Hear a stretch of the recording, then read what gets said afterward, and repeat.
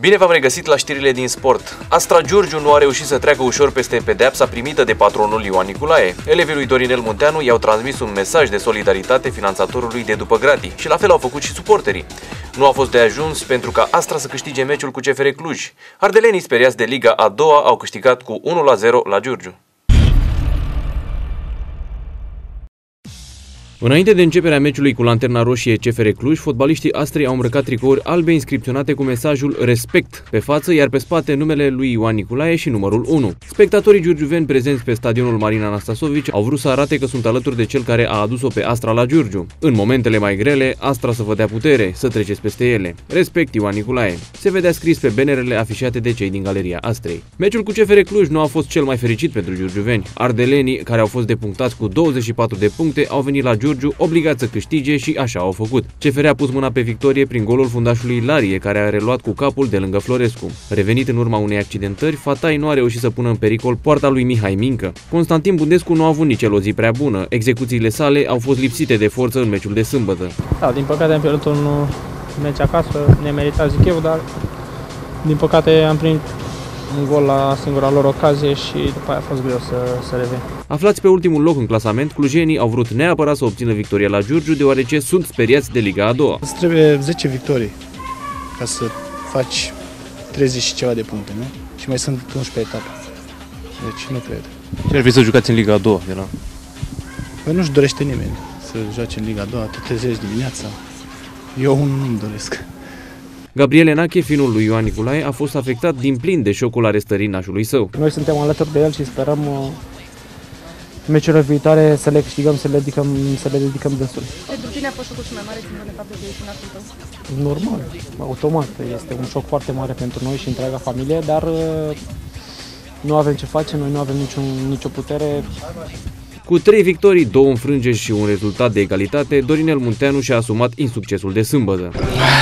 O înfrângere pe care mi-o asum. Sigur că rezultatul negativ este al meu. Am suferit foarte mult în prima repriză. Trebuie să găsesc cauzele, scuzele acestui, aceste, cel puțin prime reprize. Sigur, a doua repriză la, o, la singura greșeală am, pe care am făcut-o, adversarul marcat din faze fixe, ceea ce nu-i permis, la fel. Joi, Astra Giurgiu ia drumul Gorjului pentru meciul cu una dintre finalistele Cupei României, Pandurii Târgu Jiu. Partida va începe de la ora 19 și 15 minute. Dunărea Giurgiu a reușit scorul etapei cu Ase Prundu sâmbătă în etapa cu numărul 17 a Ligia 4 Dunărenii au câștigat cu scorul de 8 la 2 într-un meci în care și-au permis să se joace cu ocaziile. Arsenal Malul se ține scai de Unirea Izvoarele după ce a reușit o nouă victorie pe teren propriu.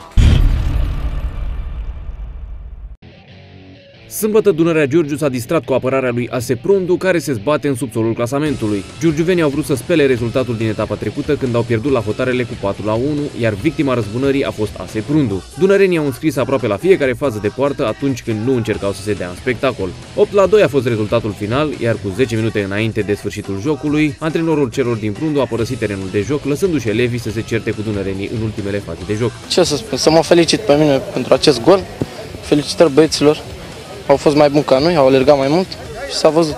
Asta e scor. S-a părut mie să voi v-ați certat, cam, mai ales în prima repriză în teren. Ce se întâmplă? Nu, nu vă înțelegeți? Mulți suntem din, alții din București, alții din Giurgiu și nu ne înțelegem între noi. Pentru jucătorii giurgiuveni a fost sărbătoare și nu doar datorită rezultatului. Coechipierul lor, Narcis Pascu, a fost felicitat pentru golul marcat și onomastică. Sincer să nu am ținut scorul cât s-a terminat, dar ce, e bine că am câștigat. Acum să nu mai copii, acolo a fost și o vreme care nu ne-au preluat. Noi suntem tehnici, că acolo a fost terenul foarte greu. Da, da. Bravo, bă, era un semn. Și Arsenal Malu s-a descurcat bine etapa trecută. Tunarii au câștigat doar cu 2 la 0 duelul de pe teren propriu cu Dunărea Oinacu. Danciu și Jelescu au adus victoria mălurenilor. Malu tot nu reușește să se apropie de Unirea Izvoarele, care a câștigat cu 7 la 0 împotriva celor de la Mihai Viteazul Călugăreni. Imediat după știri la emisiunea Sport Arena veți putea urmări cele mai incitante lupte de la competiția Kyokushin Revolution Cup. Sportivii giurgiuveni au oferit un spectacol inedit și le-au aplicat lovituri de generic adversarilor.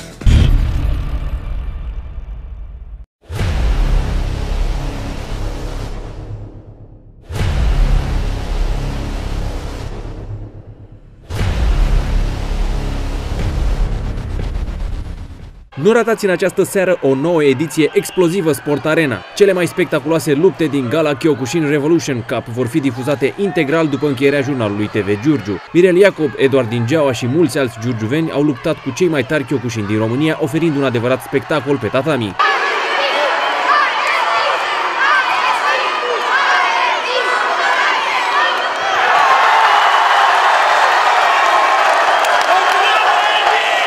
De la ora 19.45 pe TV Giurgiu veți putea urmări evoluțiile sportivilor de la cluburile giurgiuvene de karate Kyokushin. Astăzi este o zi specială pentru legenda vie a karateului Kyokushin din România. Sensei Ilie Ionescu a împlinit astăzi vârsta de 64 de ani. Îi urăm pe această cale la cât mai mulți ani în slujba artelor marțiale românești.